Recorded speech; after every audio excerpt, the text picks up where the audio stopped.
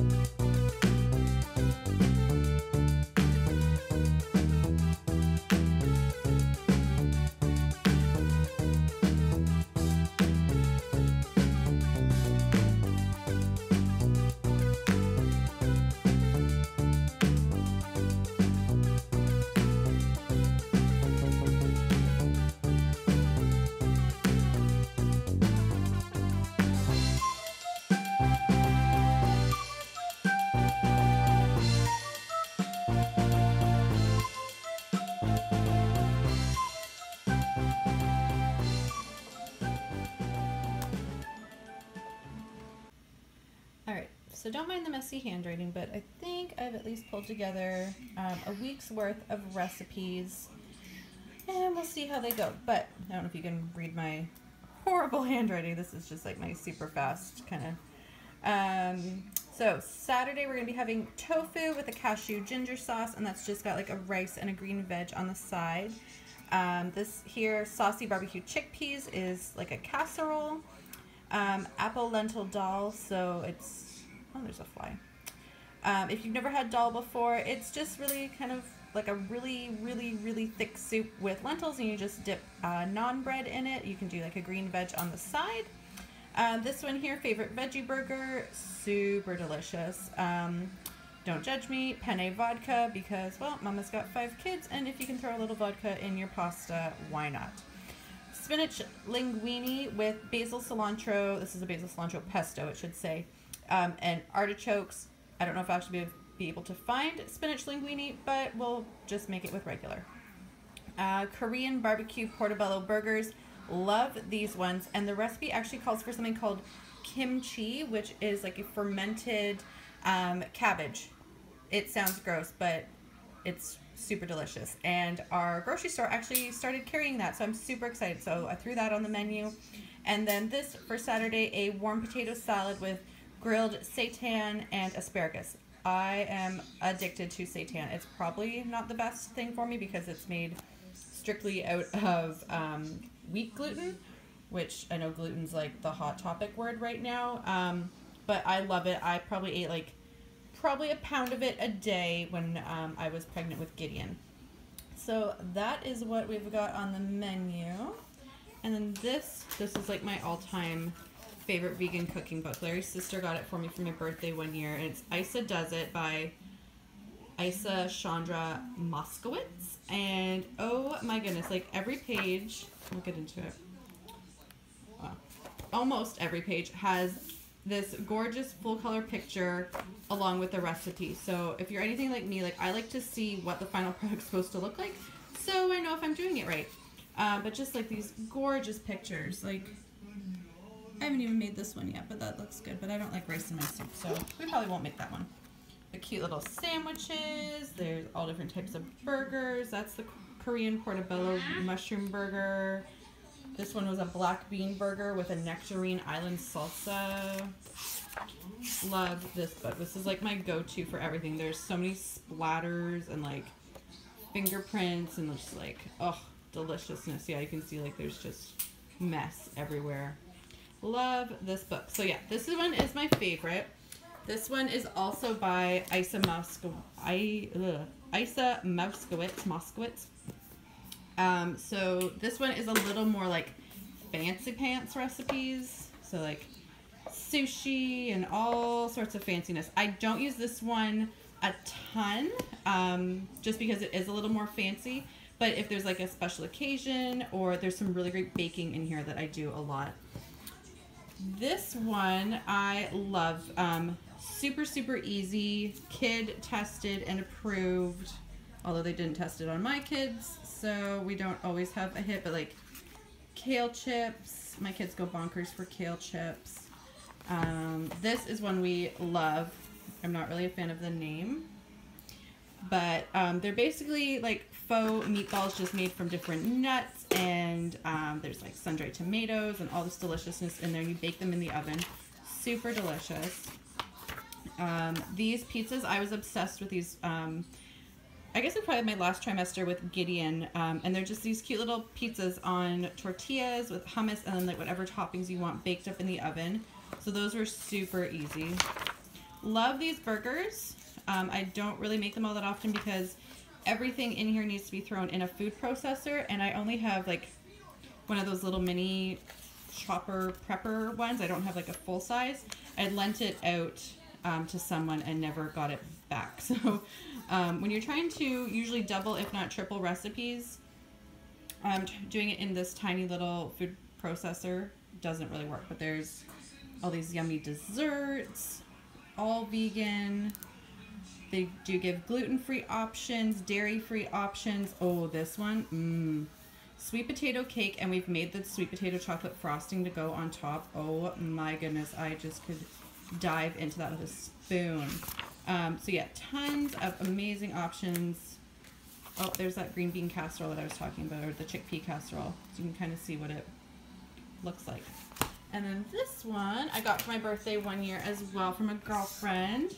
And this is the Oshi Glows. Super good. Um, there's juice recipes in here, smoothies, all different breakfast ideas, um, desserts, snacks, baking, all sorts of deliciousness. So I've probably done um, probably about half the dinner recipes I've done in here.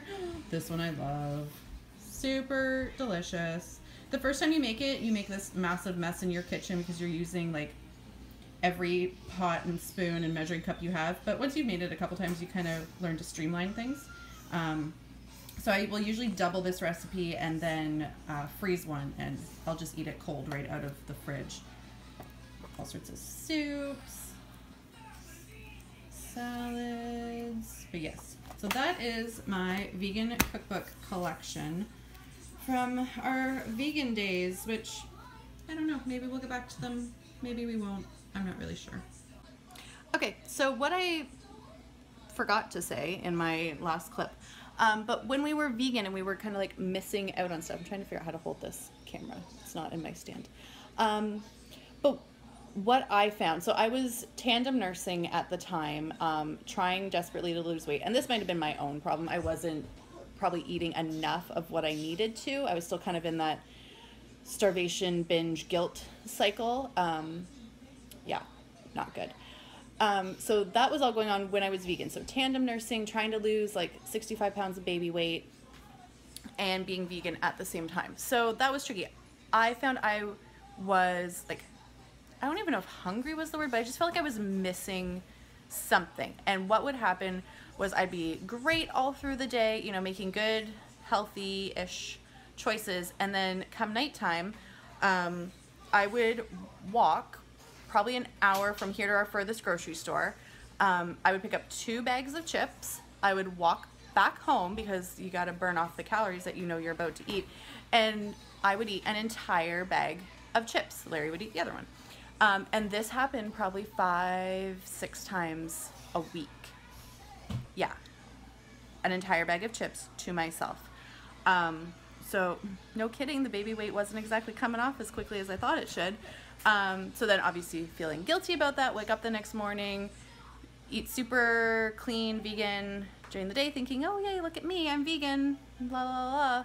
And then chips again at night. Um, so maybe it's because I was tandem nursing and my body just couldn't keep up. Maybe it's because I just wasn't eating enough of the right stuff, probably not enough fats, probably not enough greens um, to get all that I needed. I probably should have been juicing um, a lot more just to make sure I was getting all that in. Um, but once I, I followed that up until I was about seven, eight-ish months pregnant with Gideon. Um, and then I just, I couldn't do it anymore. My body needed, um, I won't say it needed meat, but it needed something I wasn't getting. And I found I was able to get that through meat. Um, yes, I probably could have done my research. Yes, I probably could have like made vegan options and choices and all that. That would have been just fine, but I didn't. I still don't, and it's just the way it is. Sorry, not sorry. Um, but yeah, I do. I did feel good while eating vegan. I just was missing something. So, for any vegans out there or vegetarians, please don't hate on me. Um, I, I did try. I tried my best. Um, and who knows? We might go back, we might not. Um, but for now, we've got at least a week's worth of vegan dinners, and it's a start.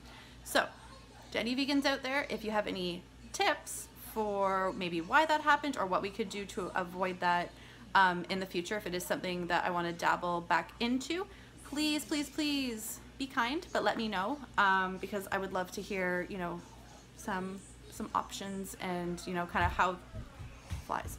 Um, how things have worked for you guys. Um, if you've gone vegan if it worked for you if it didn't work for you and all that jazz. Hi I made a sword ooh that's a very cool sword with a giant handle. All right so we are here at Superstore. I am looking dang tired right now. I'm still catching up on sleep from the last two weeks of craziness but we just finished lunch. I've got Liam helping me out with groceries today. Hi, buddy. So we are gonna do week one of our vegan grocery haul. I'm not gonna lie, we're having meatloaf tonight because I had turkey in the fridge and I'm not wasting food. So we're gonna do turkey meatloaf tonight, but then starting tomorrow is day one of um, our four week vegan menu plan. So we'll see how it goes. Um, I'm not holding myself to being perfect on on this. Um, it's more just kind of getting back to where we were two and a half years ago, or when we started two and a half years ago. Um, it's only been about eight months since we stopped eating vegan. Um, so yeah, we're giving it another go. Are you excited to eat more vegetables? No. Are you excited to eat some lentils and chickpeas and beans? If it was if it was up to you, what would we eat all the time? What would you want to eat all the time? Chocolate. Chocolate. What else? Juice. Juice. What would you want to have for breakfast all the time? Um, ice cream. Ice cream. What would you want to have for lunch every day if it, if you could choose? Um, fruit. Fruit. And what would we have for dinner all the time if you could choose? Mm, pizza. All right. Ice cream, fruit, and pizza. Kind of balanced. It's more leaning towards like 20 80 eating, not necessarily 80 20, but we're getting there. How you doing? Good, thanks. How are you? Hey guys, so we are back. We got a ton of stuff and it was a lot cheaper than what I normally spend. Usually we're somewhere between 250 to 300 uh, for the week. Mind you, that does usually include either um, a box of diapers, um, dog food, or cat food. We usually kind of rotate through needing one of them a week, and this week we didn't need any of those. Um, I still need to go to Sobeys and pick up a few items that Superstore didn't have, um, but they're not crucial uh, for the next couple days. So, yeah, here is what I got. So there is a look at what we got for the week. Um, starting off, we've got hamburger buns, which I couldn't figure out why I had put two packs on the list, so I only picked up one.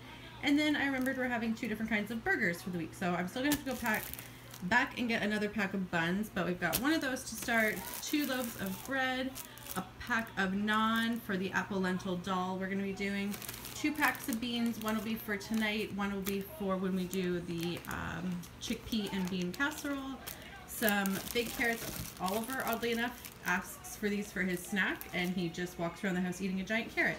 So that's odd and wonderful all at the same time. Um, maple syrup, which it was a better deal to buy in this big giant can, but now I'm realizing I really don't know what I'm going to do with it once I open the can. So I've got to figure that out. Um, silk almond. Uh, this is a new one they came out with, which was hazelnut, so I'm going to try that.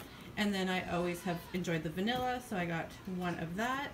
Some molasses, strawberries, tomatoes, soy sauce, two packs of these little um, potato pancakes for the kids for their breakfast. Liam wanted an orange, and he's super picky with fruits and veg, so I thought maybe if he picks it, he'll eat it. Probably not, but we'll try it anyway. Two different packs of bagels, because heaven forbid all four of my kids actually eat the same thing for breakfast one day. So a pack of blueberry, a pack of cinnamon raisin. Um, some fruit here. We've got peaches, and this was like a three blend mix. Three blend mix. That's quite the mouthful.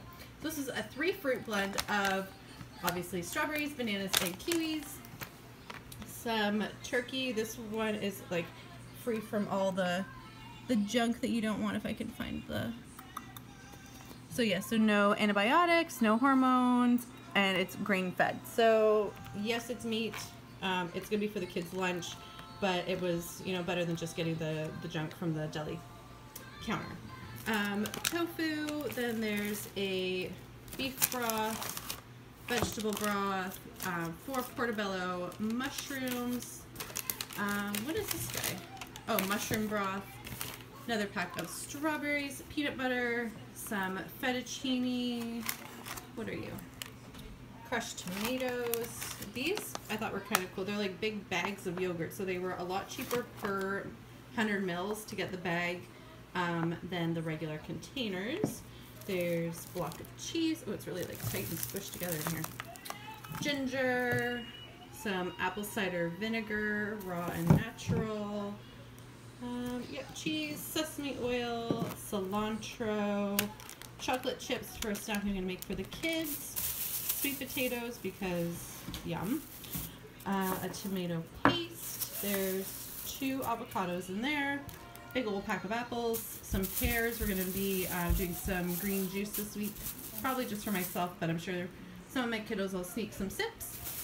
Some kiwi um, for some chia pudding that I'm gonna be making this week sliced almonds. I think this was for pasta sauce I was going to be making. Needed almonds. Uh, turmeric for in my tea. Fresh basil. Nine cucumbers for juicing and some for snacking. Oats because I'm going to be trying to get back into making some overnight oats. So I've got those. Some cooking wine. Pickles. Cottage cheese. I thought I had two cottage cheese. Yes, I do have two cottage cheese um, big old pack of spinach. That's two pounds of, no, not two pounds. That would be ginormous. This was 11 ounces. So, yes. Four bunches of kale. And I think that is it. So all of that came to 197 and change. Uh, like I said, I'm still going to have to pop out to Sobeys, probably pick up some almond milk. Um, I need to pick up some vital wheat gluten and uh, almond meal. So that'll probably rack me up to probably another $30 or so just for those three items. But they will last me a couple weeks. So yeah, there you go guys. So here's a quick tip with leafy greens. Um, so this is my kale that I bought.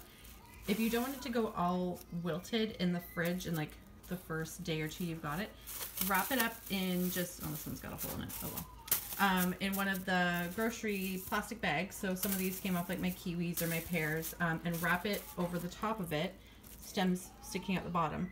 And that'll actually keep it a lot fresher um, until you need it.